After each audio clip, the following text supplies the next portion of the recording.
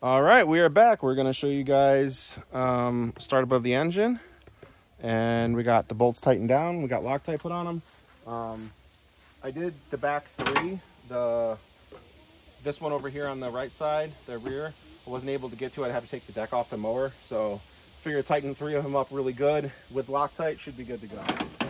So we're going to go ahead and give her a start up for the first time with all the bolts tightened with the Loctite. And we're going to see if the engine vibrates and if it makes the same noise as before or if we fix the issue. So let's go ahead and give her a rip.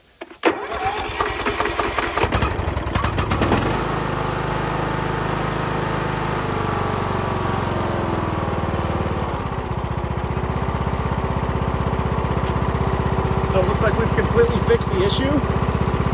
As you see, the engine is no longer vibrating. I'm gonna go ahead and shut the engine off and we're gonna see if it moves at all or not. And then we're gonna start it back up and see if it does it again.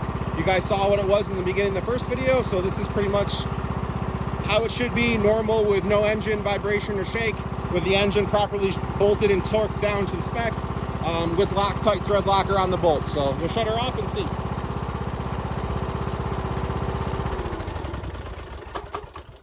Perfectly normal. The engine didn't vibrate or rattle like it did in the beginning, also known as a knock. We'll go ahead and start it back up.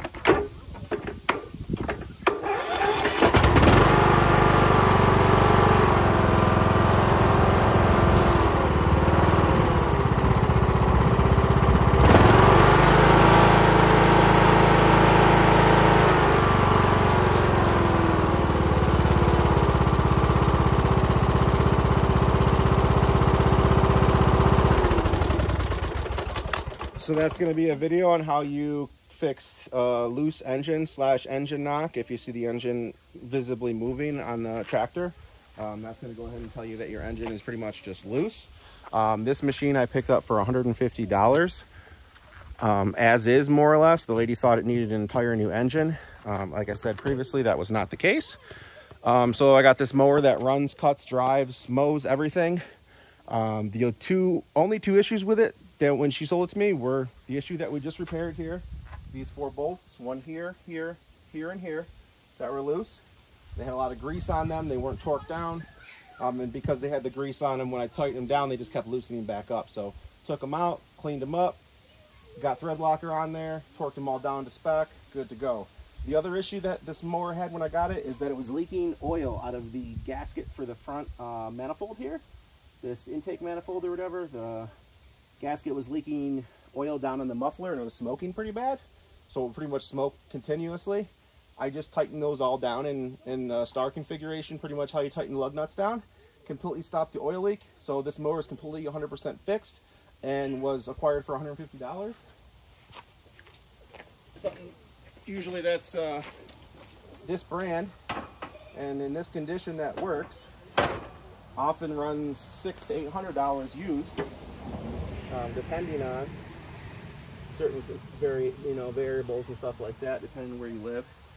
But for the most part, that's how you fix a, a mower you get off marketplace for 150 bucks, and now you have a perfectly working mower with no issues at all that um, will pretty much take care of you as long as you take care of it.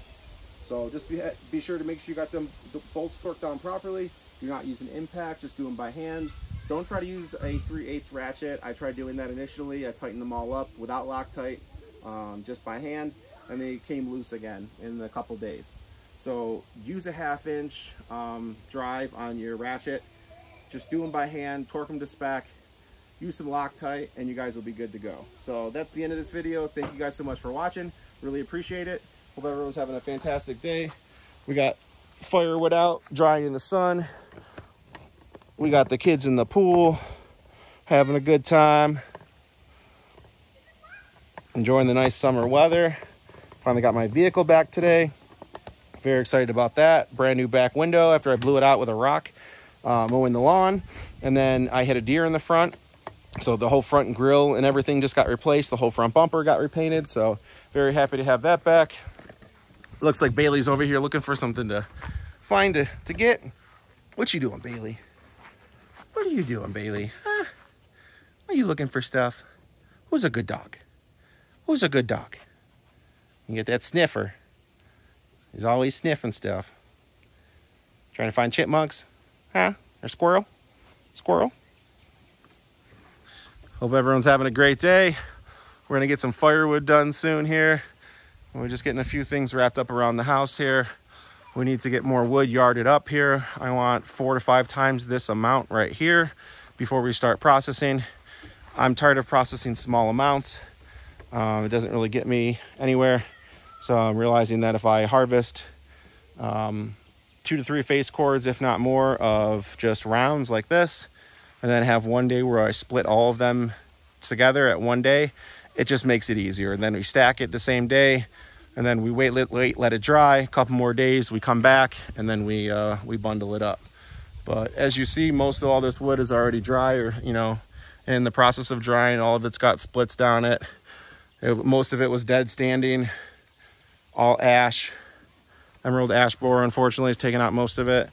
The stuff down here is pretty well rotted and dry. Uh, I'm gonna try splitting some of it, but I don't know if it's gonna really split very well. Uh, I think this is gonna be more for the personal uh, fireplace because it's kind of, you know, rotted, decayed, not really worth selling. I do have some really nice uh, rounds back here though that are solid that my splitter wasn't able to get through last time. And then of course we have the Husqvarna push mower that we got for free that fires up pretty much on the first or second pull now with no issue and uh, runs great. So uh, yeah, want to thank everyone for watching. Thank you for subscribing. If you like what you see, please like and subscribe. I got more content coming out soon.